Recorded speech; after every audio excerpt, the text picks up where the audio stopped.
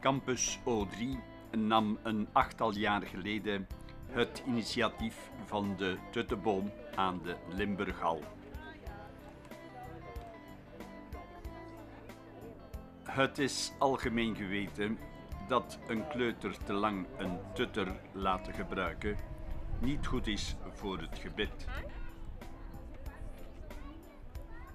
Eenmaal per jaar komen ouders met hun tweejarigen naar een klein tuttefeestje waar de kleine bengels hun fopspeen in de tuttenboom zullen hangen. We gaan heel hard roepen. 3, 2, 1.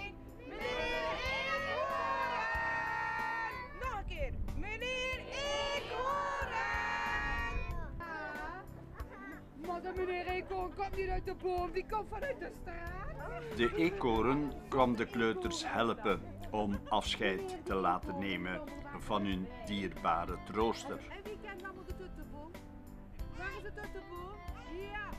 En de Onze schepen voor opvoeding en talentontwikkeling, Aniek Nagels, kwam de kleuters ook stimuleren om een tutje in de tuttenboom te hangen.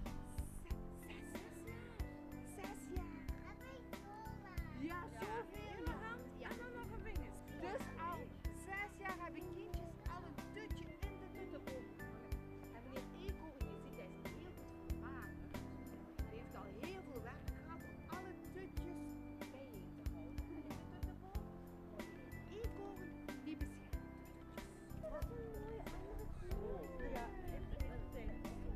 tutjes. Hang maar op Olaf.